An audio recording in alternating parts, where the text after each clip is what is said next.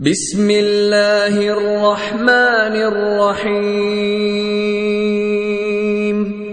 Because you put money in this bank, they could, what if they came tomorrow and said, you know what?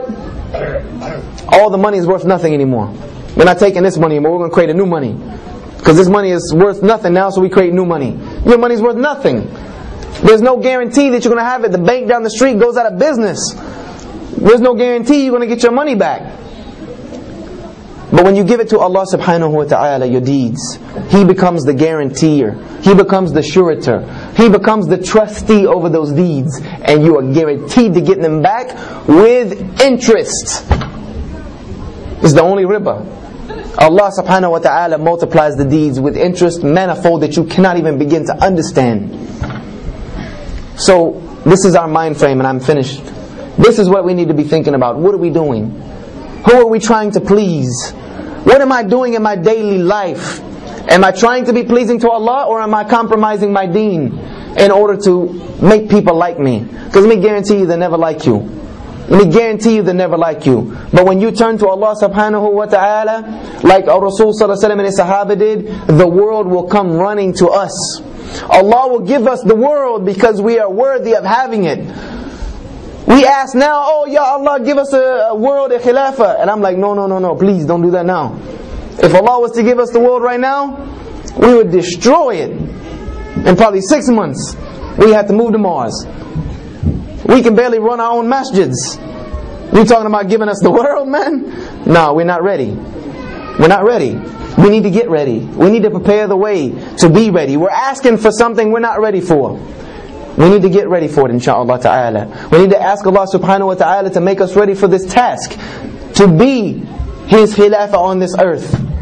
We need to ask Him for this sincerely and check our intentions and check our deeds and check our actions and see where it is that we're going. And let me tell you, all of this stuff we're amassing in this world, all of this stuff where they're trying to collect, means nothing, man. You want to own something. My first sheikh taught me this very early as a Muslim. You want to own something? You may think you own something now. You may think you own your money. You don't own your money, you own some paper that the government says what it's worth. You think you own your car. You don't own your car. Don't pay insurance on it. Don't pay your taxes on it. You may think you own a house. Surely, don't pay your property taxes on your house and see what happens. You own nothing. You own nothing in this dunya. You can't take anything of it with you. The only things that you own are the things that you give for the sake of Allah subhanahu wa ta'ala. That's it. That's the only thing you own. Because as soon as you give something for Allah, Allah holds it and gives it back to you. That includes everything, not just money. That includes your time. Every second that you give to Allah belongs to you. Every second that you spend chasing this dunya, you've lost it. You lost it. Every action that you do sincerely for Allah belongs to you. Every action that you do for something else, you've lost it. You've wasted it. So let us not waste any more time, dear brothers and sisters. Time, time is running out, man. Time is running out. And if we don't decide whether we're going to be with it or against it, then I guarantee Allah is going to make the decision for us.